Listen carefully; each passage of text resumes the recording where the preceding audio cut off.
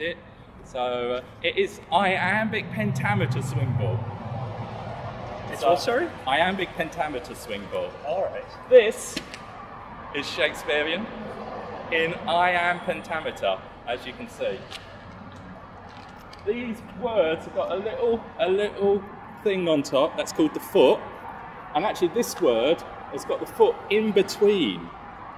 So it's que, on. So basically, you only hit the ball on the foot. So it's a bit like a rhythm game and it's how far you can get without making a mistake. I will ex- I will show you how it works. Let's step back here because it's all about to get Shakespearean. So, um, right, so I'm just going to start it off. But yeah, two is not got I am. It's only the one. So they're soft and they're hard. So it's the one with the little dash. That's the one that we do it. Okay. So I'll start it off. So that's two. Now hit it B, or let it go, not, hit it, two, B, that, so I don't hit it, don't hit it, is, don't hit it, the, oh, where, and then I don't hit it, non, so it's like that.